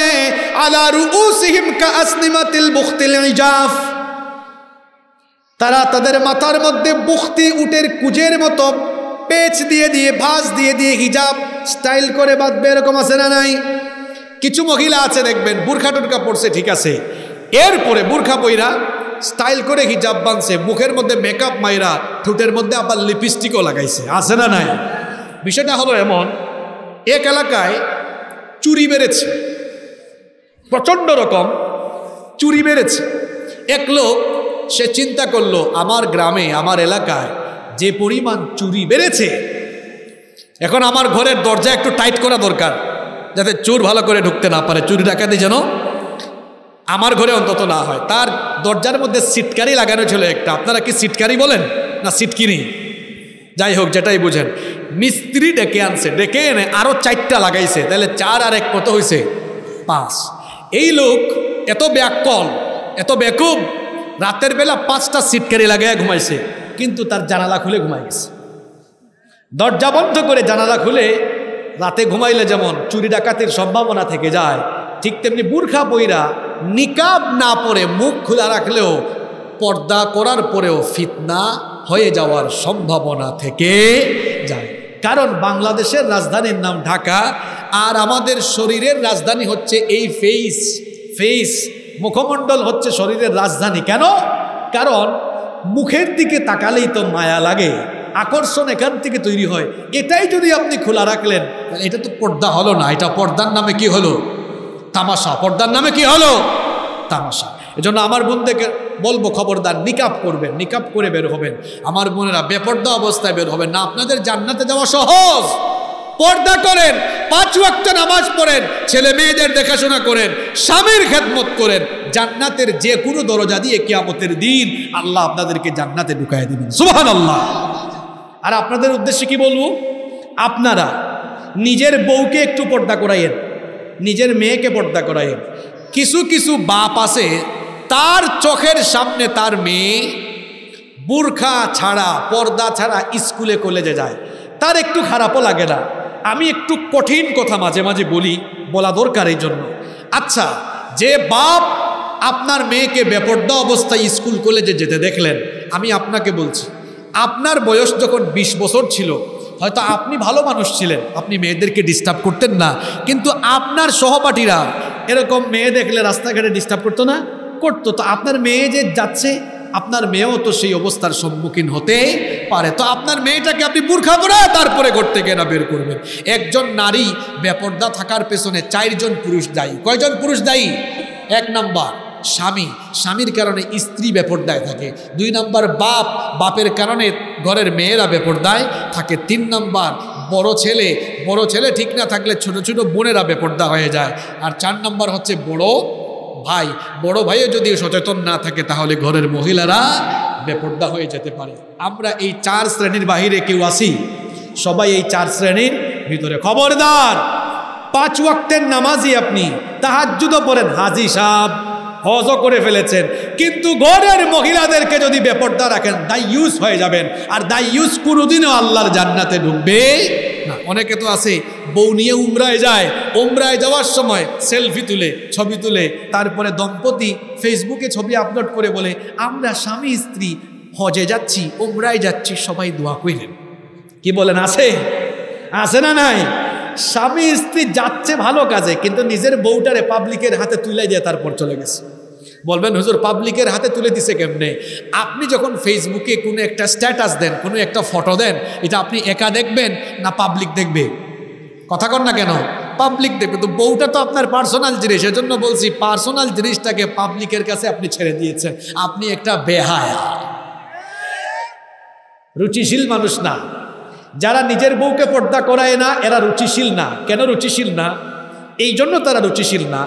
নিজের বউকে বেপর্দা অবস্থায় ঘর থেকে নিয়ে বের হলো। মনে করেন, একটা বিয়ের ফাংশনে বিয়ে বাড়িতে গেছে, তার বউ বেপর্দা। এখন বিয়ে বাড়িতে তো অনেক মানুষ আসে। বিয়ে বাড়িতে অনেক মানুষ এসে বলতেছে আচ্ছা ভাই, এটা কে আপনার সাথে? কয়, চিনস না? এটা তোর ভাবি। এখন রুমের মধ্যে যারা ছিল, এক একজন এক এক কথা বলতেছে বলতেছে, ওয়াও। আজ বলতেছে, উফ। আগে বলতেছে, ইফ। হ্যাঁ? বউ কার আর কুতাকুতি করতেছে দেখছেন? এই, আপনাদেরকে হাসানোর জন্য বলতেছি এটা। আরে, আপনার বউয়ের সৌন্দর্য আপনি উপভোগ করেন। আপনার বউ আপনি মোহরানা দিয়ে কাবিন দিয়ে আপনি বিয়ে করেছেন, কিন্তু বউটাকে বেপর্দা বানাইয়া পাবলিকের কাছে ছেড়ে দিয়েছেন কেন? আপনার তো হায়া সরম বলতে কিচ্ছু নাই, ব্যক্তিত্ব নাই, রুচিশীল মানুষ না আপনি আপনি একটা বেহায়া মানুষ। আল্লাহ এদেরকে হেদায়াত দেন। কি বলব আর? কিছু মানুষ তো এরকম আছে, আল্লাহ যেন এদেরকে হেদায়াত দান করে, বলেন আমিন। তো শেষ জামানার আরেকটা ফেতনা হলো, বেপর্দারাও ফেতনা ছড়াবে, আবার পর্দা কুইরাও এরকম ফেতনা ছড়াবে। আসুন, আমার বোনদেরকে এই ধরনের ফিতনা থেকে এবং আমাদের ঘরের মহিলাদেরকে আল্লাহ এমন ফিতনা থেকে বাঁচিয়ে রাখুন। বলেন আমিন। কষ্ট হচ্ছে আপনাদের? এরপরে শোনেন, কেয়ামতের আগে আরেকটি ভয়াবহ ফিতনা হলো, মিডিয়ার মাধ্যমে সত্যকে মিথ্যা বানানো হবে, মিথ্যাকে সত্য বানানো হবে। হলুদ মিডিয়া আর হলুদ সাংবাদিকতা বেড়ে যাবে। নবীজি বলেছেন, দেড় হাজার বছর আগে আল্লাহ নবী বলেছেন আল্লাহ নবী বলেছেন অচিরেই কেয়ামতের আগে শেষ জামানায় আমার উম্মতের মধ্যে এমন একটা কঠিন অবস্থা আসবে। যখন মানুষগুলো প্রতারণাপূর্ণ সময়ের মধ্যে আগমন করবে, অবস্থা তখন এমন হবে সাদিক। সত্যবাদীকে মিথ্যাবাদী বানানো হবে, মিথ্যাবাদীকে সত্যবাদী বানানো হবে। মিডিয়ার মাধ্যমে সত্যকে মিথ্যা, মিথ্যাকে সত্য বানানো হবে, ভালোকে খারাপ, খারাপকে ভালো বানানো হবে। দেখুন কি এক কঠিন সময় চলে এসেছে? এই কঠিন সময়ে দেখা যায় ভালো ভালো লোকগুলোকে মিডিয়ায় খারাপভাবে দেখানো হয়? আবার চোর, ডাকাত, চাঁদাবাজদেরকে ভালো বানাইয়া মিডিয়াতে দেখানো হয়। কি বলেন, আছে না নাই? ভালো ভালো মানুষগুলোকে লুটপাটকারী বানায়া, এরপরে তাদের উপরে অপবাদ দিয়ে তাদেরকে তাদের উপরে প্রহসন করে বিচারের নামে অবিচার করা হয়। আর চোর, ডাকাত, বাটপারগুলোকে প্রতারণা করে, ধোকাবাজি করে ভেতর থেকে বাহিরে দিয়ে দেয়। কেয়ামতের আগে এমন কঠিন সময় আসবে, নায়িকা, গায়িকা, চোর, ডাকাত, বাটপাররা বুক ফুলিয়ে জামিন নিয়ে বাইরে থাকবে। আর কোরআনের খেদমত করনেওয়ালা লোকেরা ইসলামওয়ালা লোকের উপরে অবিচার নেমে আসবে। এই রকম করে কেয়ামতের আগে সত্যকে মিথ্যা আর মিথ্যাকে সত্য বানানো হবে। এরপরে কেয়ামতের আগে আরেকটা ফেতনা হলো চার নম্বরে বলছি প্রযুক্তি অনেক উন্নত হবে, কিন্তু প্রযুক্তি উন্নত হলেও মানুষেরা প্রযুক্তির সঠিক ব্যবহার না করে মানুষেরা প্রযুক্তির অপব্যবহার করবে। প্রযুক্তি এত উন্নত হবে, নবী করিম ওয়াসাল্লাম আজ থেকে আরও দেড় হাজার বছর আগে বলেছেন, কিয়ামতের আগে ইন্নামিন আশরাতিস সাআ আইয়ুজহারাল কওল ওয়া ইউখজানাল ফি'ল নবীজি বলেছেন, কিয়ামতের একটা আলামত হলো কিয়ামতের আগে মিডিয়া এত উন্নত হবে, কথা প্রচার করা সহজ হবে। এটার একটা ব্যাখ্যা শুনেন। বাবাজান, ভাইজানরা, শোনেন কি বাস্তবিক কথাগুলো। দেড় হাজার বছর আগে পৃথিবীতে বিজ্ঞানের জন্ম হয়েছে এত আসতে বলছেন কেন? বিজ্ঞানের জন্ম হয়েছে জন্ম হয় নাই। আপনারা আওয়াজ একটু ফাটা ফাটা শুনতেছেন। এটা ওই মাইক ম্যানের, কি বলে, মিক্সার মেশিন নান আর কুফল। সে এটা করে একটা ঝামেলা লাগাই দিছে। তো যাই হোক, যেহেতু হয়ে গেছে, এখন আর কথা বলে লাভ শোনেন কেয়ামতের আগে নবীজি বলেছেন, ফিতনার জামানা এমন এমন ভাবে সেই জামানায় ফিতনা ছড়াবে। কেয়ামতের আগের সময়ে প্রযুক্তি উন্নয়ন উন্নত হবে। দেড় হাজার বছর আগে পৃথিবীতে বিজ্ঞান ছিল না, বিজ্ঞানের জন্ম হয় নাই। সেই সময়ে নবীজি ভবিষ্যৎবাণী করেছেন যে, কিয়ামতের আগে প্রযুক্তি উন্নত হবে। তিনি যে শেষ নবী, এটা তার সবচেয়ে বড় একটা কি? প্রমাণ। কারণ আল্লাহর নবীর প্রতিটি কথা সত্য। আল্লাহর নবীর কথাগুলো ওহি, সেগুলো হলো ওহিয়ে গৈরে মাতলু। ওহি হলো দুই প্রকার ওয়াহিয়ে মাতলু আর দুই নম্বর হলো ওয়াহিয়ে গাইরে মাতলু। ওয়াহিয়ে মাতলু মানে যেটা তেলাওয়াত হয় নামাজে। যেমন নামাজে আমরা কোন কিতাব থেকে তেলাওয়াত করি? কোরআন। এজন্য কোরআনকে বলা হয় ওয়াহিয়ে মাতলু আর হাদিসকে বলা হয় ওয়াহিয়ে গাইরে মাতলু, যেটা নামাজের ভেতরে আমরা তিলাওয়াত করি না। কিন্তু সেটাও ওহি, সেটাও কি? ওহি। আল্লাহ নবী দেড় হাজার বছর আগে কথাটা বললেন। দেখেন, এককালে রাস্তাঘাট ছিল না, যানবাহন দামি দামি গাড়ি ছিল না। সেই সময় মানুষ গরুর গাড়ি, ঘোড়ার গাড়ি ব্যবহার করত। কিন্তু এখন আর গরুর গাড়ি, ঘোড়ার গাড়ি নাই। ইঞ্জিন চালিত বাহন আছে। এখন বিমান, রকেট চলে এসেছে। এত উন্নত প্রযুক্তি। একটা সময় না। একটা সময়ে আপনি কোনো কিছু জানাইতে হলে বেতারে যাওয়া লাগতো, অথবা টেলিভিশন সেন্টারে যাওয়া লাগতো। এখন কি আর এত দূরে যাওয়া লাগে? যার একটা ফেসবুক আইডি আছে, সে এখন মিডিয়ার মালিক। ফেসবুক আইডিতে এসে অথবা তার ইউটিউব চ্যানেলে গিয়ে একটা লাইভ করলেই তার কথা মুহূর্তেই গোটা পৃথিবীতে ছড়িয়ে যাচ্ছে। তাহলে নবীজি বলেছেন, দেড় হাজার বছর আগে, কিয়ামতের আগে কথা প্রচার করা সহজ হয়ে যাবে। তাহলে এখন কথা প্রচারটা সহজ হয়েছে না কঠিন হয়েছে আরে আগে তো আপনারা চিঠি লিখতেন। বিদেশে থাক, কেউ থাকলে এই চিঠি লিখার পরে পৌঁছাইতে পৌঁছাইতে লাগছে কয়েকদিন। এখন কি কথা প্রচার করতে, কথাটা পৌঁছাই দিতে কয়েকদিন সময় লাগে? হ্যালো, বলেছেন, সাথে সাথে শুনে ফেলেছে, সাত হাজার, দশ হাজার মাইল দূরে থাকলেও অসুবিধা নাই। তাহলে নবীজি বলেছেন, শেষ জামানায় কথা প্রচার করা কি হয়ে যাবে? সহজ হয়ে যাবে। এখন কথা প্রচারটা সহজ হয়েছে। আল ফাইল। এবং কর্ম ধারণ করাও সহজ হবে। এই দেখেন ভিডিও ক্যামেরা দিয়া সব রেকর্ড করে রেখে ফেলতেছে। দেড় হাজার বছর আগে ক্যামেরা ছিল ছিল না। নবীজি বলেছেন, এই রকম শেষ জামানাটা উন্নত হবে।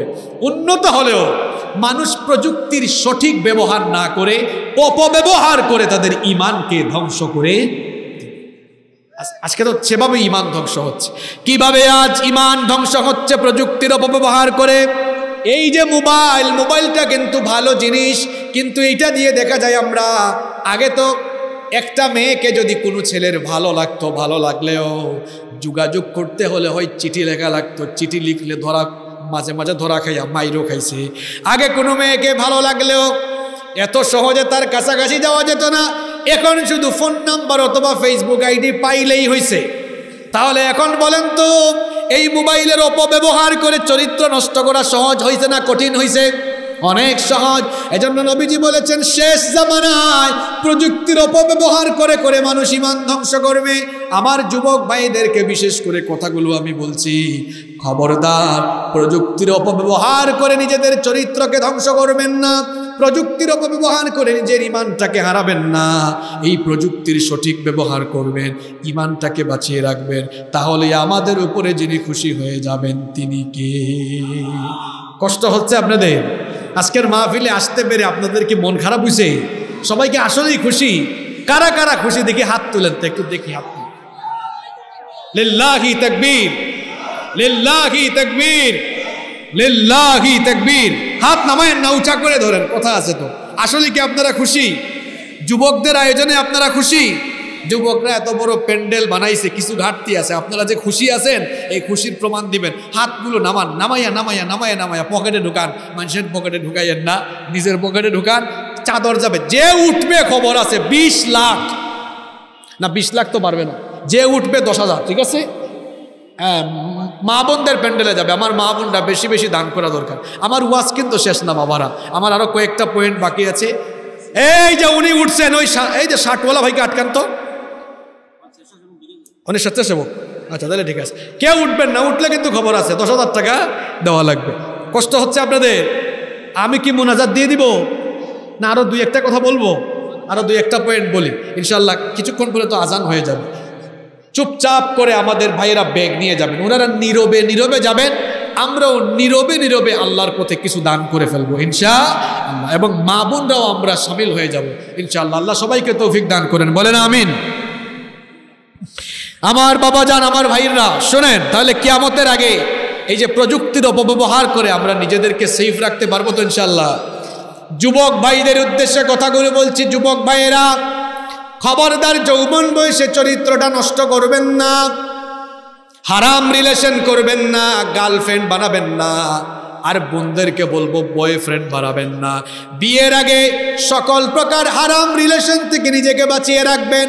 কারণ হারামের ভেতরে নাই কোনো আরাম। ওই দিন এক ছেলে বলতেছে, হুজুর, আমি বিবাহের উদ্দেশ্যে প্রেম করতেছি, কোনো অসুবিধা আছে? দেখছেন কারবার, কি শয়তানি কথা। কয়, হুজুর, বিয়ের উদ্দেশ্যে আমি চালায় যাচ্ছি আর কি। আরে, যেটা চালায় যাচ্ছেন, ওইটাই তো ঠিক না। ওটাই তো হারাম। আমার যুবক ভাইদেরকে বলব, খবরদার, মেয়েদের পেছনে ঘুরবেন না, মেয়েদের পেছনে ঘোরা। এটা কোনো সভ্য মানুষের কাজ নয়। আল্লাহর নবীরা কেমন চরিত্রবান ছিলেন, একটা ছোট্ট ঘটনা আমার মনে পড়েছে। তাদের চরিত্র কেমন ছিল সেটা বলছি। একটা ঘটনা মনে পড়ছে, বলব? ঘটনাটা বলব? মুসা নবীর ঘটনা। মুসা নবী নরম নবী না গরম নবী? আরও জুড়ে বলেন, নরম না গরম?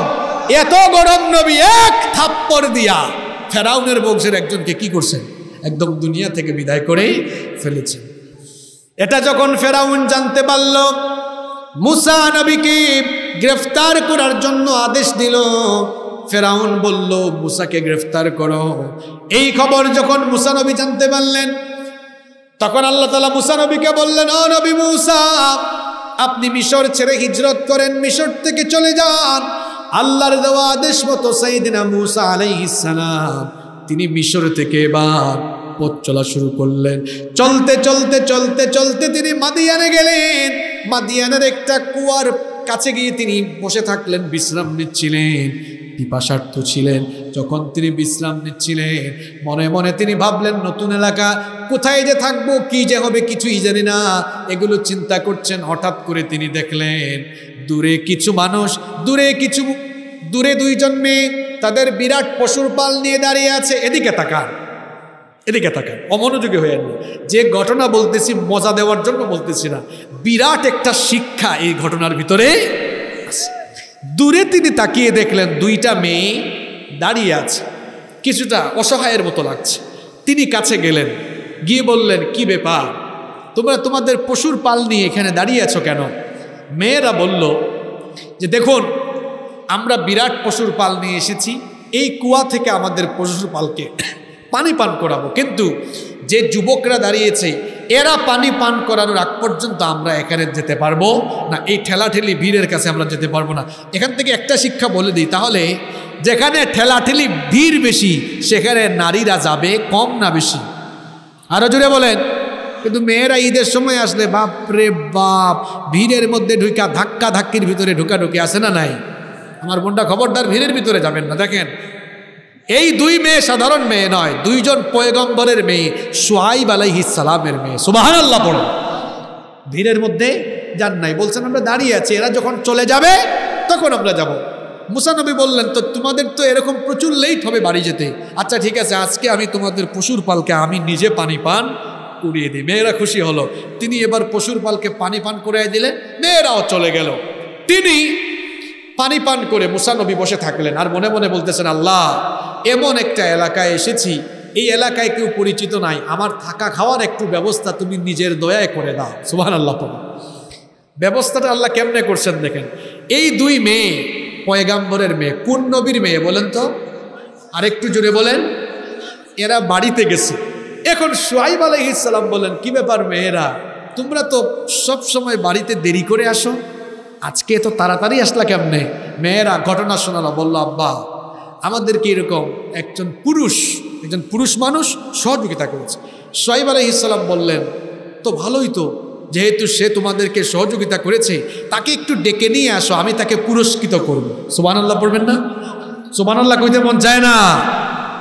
মেয়েরা গেল, গিয়ে দেখল মুসা নবী ওই কুয়ার পাশে বসে আছেন আর বলতেছেন, আল্লাহ, একটা ব্যবস্থা তুমি। ব্যবস্থা আল্লাহ কেমনে করতেছেন দেখি মেয়েরা গিয়ে বলল, যে হে মুসাফির, আমাদের আব্বাজান, আপনি যে আমাদেরকে সহযোগিতা করেছেন, আমাদের আব্বাজান খুশি হয়েছেন। আমাদের আব্বাজান আপনাকে ডেকেছেন আমাদের বাড়িতে যাওয়ার জন্য। তিনি আপনাকে পুরস্কৃত করবেন। মুসানবী মনে মনে আলহামদুলিল্লাহ, মনে হয় আমার কোনো একটা কিছু ব্যবস্থা হচ্ছে, আল্লাহই মনে হয় ব্যবস্থা করছেন। সুমান আল্লাহ বাড়িতে গিয়া বললেন। তিনি বললেন, মেয়েরা শোনো তোমরা আমার সামনে হাঁটবা না, পিছনে হাঁটো। যুবক ভাইয়েরা, শিক্ষা নাও। কোন যুবক কখনো মেয়ের পিছনে ঘুরবে না, চরিত্র উন্নত করবে, এমন উন্নত বানাবে কেরিয়ার এমন সুন্দর করবে, আর চরিত্র এত ভালো পর্যায়ে নিয়ে যাবে যাতে মেয়ে আর মেয়ের বাপ পিছনে পিছনে লাইন ধরে। তোমরা তো মেয়ের পিছনে হাঁটো, এরকম অসভ্য হইও না। মোসানবী বললেন, মেয়েরা, পিছনে যাও। পিছন থেকে বলো, আমি সামনে সামনে যাব, দেখায় দাও রাস্তা। তিনি গেলেন। যাওয়ার পরে সোহাইব আলহিসাল্লাম সব ঘটনা শুনলেন। তিনি কীভাবে মিশর থেকে আসলেন? শুনে এবার সোহাইব আলাইসাল্লাম বুঝতে পারলেন লোকটা অসহায়, এখানে তার থাকা খাওয়ার জায়গা তিনি খাওয়ালেন, মেহমানদারি করলেন। মেয়েরাও শুনতেছিল, মেয়েরা বলল আব্বাজান যেহেতু লোকটার থাকা খাওয়ার জায়গা নাই, এই লোকটাকে আমাদের ঘরে কর্মচারী বানাইয়া রেখে দেন, চাকর হিসাবে রেখে দেন, তাইলে আমরা আর পশুর পাল নিয়ে যাব না এই লোকটাই পশুর পাল নিয়ে যাবে, একটা চাকর থাকলে আমাদেরও সুবিধা হবে। আর এই লোকটাকে চাকর হিসেবে রাখলে ভালো হবে, কারণ এই লোকটা শক্তিশালী এবং আমানতদার। মুসা মুসানবীর ব্যাপারে সোয়াইব নবীর মেয়েরা এবার মুসানবীর গুণ বর্ণনায় কয়টা কথা বলছে? আঙ্গুল দেখে বলেন কয়টা? একটা বলেছে শক্তিশালী আর একটা বলেছে আমানত তো সোয়াইব আলাহ ইসলাম বললেন, মেয়েরা, এই লোকটা যে শক্তিশালী এবং আমানতদার, এটা তোমরা জানছো কেমনে? তখন তারা বলল, আব্বাজান, যে কুয়া থেকে আমরা পশুদেরকে পানি পান করাই, এই কুয়ার ঢাকনা সরাইতে কয়েকজন পুরুষের দরকার হয়। কিন্তু এই লোকটার শক্তি এত বেশি দেখেছি, একাই একটা হাত দিয়ে যখন ধাক্কা দিয়েছে, একাই ওই কুয়ার ঢাকনাকে সরাইয়া দিয়েছে। প্রত্যেকটা নবীর গায়ে এরকম শক্তি দিয়েছেন কে? আচ্ছা শক্তিশালী বুঝলাম। এই লোকটা যে আমানতদার, এটা বুঝলা কেমনে? বাপ প্রশ্ন করেছে কাকে? মেয়েকে। মেয়েরা বলল, আব্বা যান আপনি যখন এই লোকটাকে আনতে পাঠাইছিলেন, আমরা গিয়েছি। যাওয়ার পরে এই লোকটা আমাদের আমাদেরকে সামনে রেখে নাই, পিছনে রেখেছে। লোকটার চরিত্র ভালো বলেই তো আমাদেরকে পিছনে রেখেছে, আমাদেরকে সামনে রাখে নাই। সোয়াইব নবী এত খুশি হইলেন, খুশি হইয়া বললেন, এত ভালো ছেলে, এত চরিত্রবান ছেলে, এমন চরিত্র সাধারণ মানুষের নয়। এটা নিশ্চয়ই অসাধারণ কোনো ব্যক্তি হবে। তিনি বললেন, শোনো আমি আমার আমার ঘরে এই লোকটাকে চাকর বানায় রাখব না। সরাসরি বিয়ের প্রস্তাব দিলেন, বললেন, শোনো যুবক, আমার এই দুই মেয়ে থেকে যে মেয়েকে ভালো লাগে, তাকে বিয়ে করে আমার মেয়ের জামাই হয়ে তুমি আমার বাড়িতে থাকো। সুবানাল্লাহ বাড়িতে গিয়া বললেন আপনারা, এবার বাবারা, মায়েরা শোনেন, বাবারা জবাব দিয়েন, মুসা নবীর কাছে সোয়াইব নবী মেয়ে বিয়ে দিয়েছেন ঘর বাড়ি দেখে ঘর বাড়ি দেখে টাকা পয়সা দেখে, ক্ষমতা দেখে, কি দেখে? জোরে বলেন। ভাত খাই আসেন নাই, কি দেখে? আপনারা কি দেখে বিয়ে দেন? এই দেখেন, অবিবাহিত ছেলেরা কথা বলা শুরু করে দিছে। বলো, অবিবাহিত ছেলেরা বলো, কি দেখে? বিয়ের সময় কি দেখে? ফুলুস ফুলুস ফুলুস। চাকরি করে কিনা? না, টাকাই সব না, শোনেন। বলতেছি তো, বলতে দেন একটু।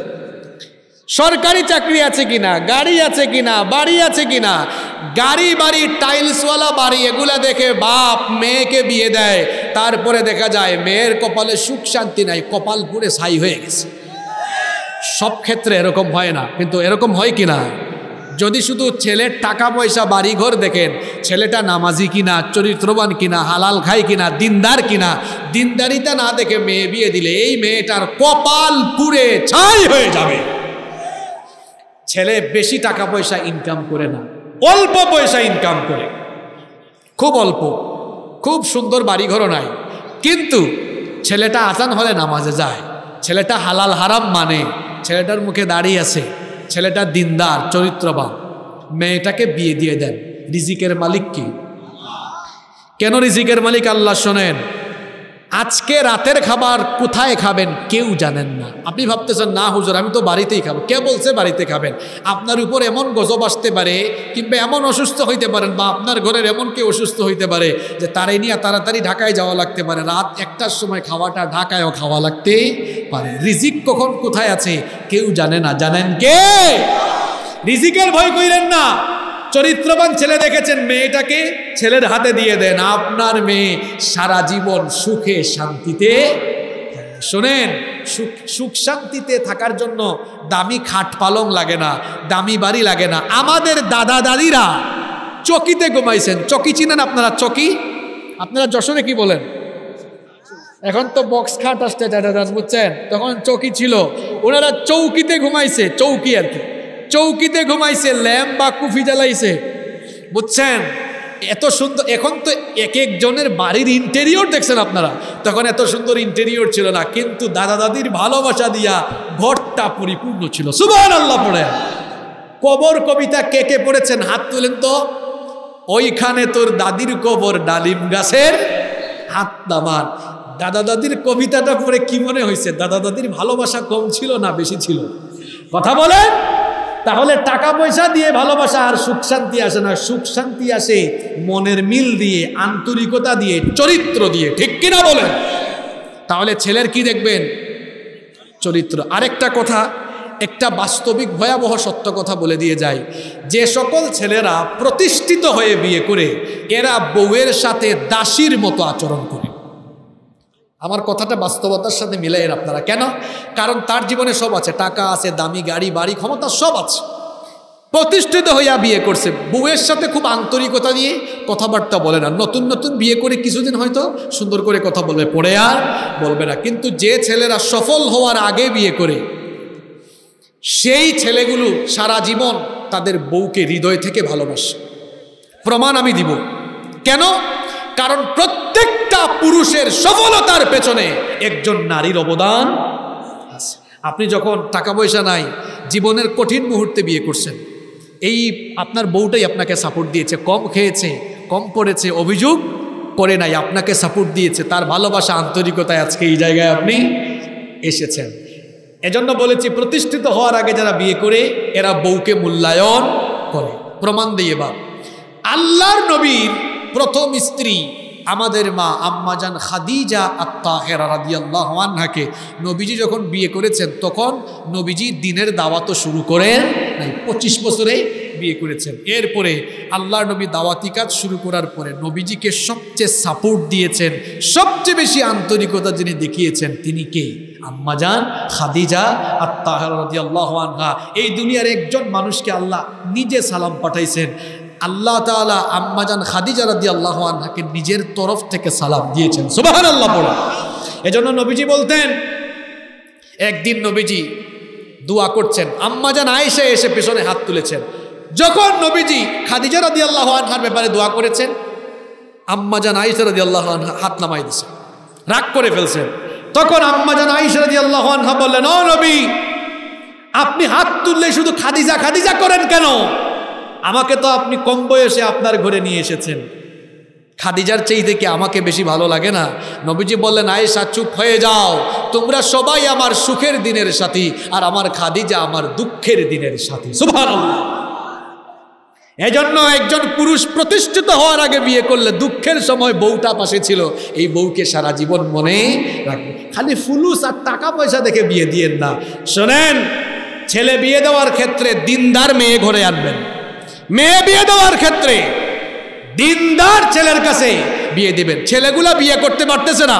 আপনারা বিয়েতে মোহরানা যে পরিমাণ বাড়ায় রাখছেন আর বিয়েতে খরচ যে পরিমাণ বাড়ায় রাখছেন, ছেলেগুলা বিয়ে করতে পারছে না। আমার দেশের ছেলেরা ভালো, আমার দেশের ছেলেরা জিনা করতে চায় না, বিয়ে করতে চায়।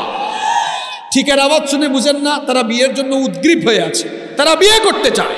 কিন্তু আপনারা বিয়ে শাদিতে খরচ বাড়ায় রাখছেন দশ লাখ, বারো লাখ, তেরো লাখ।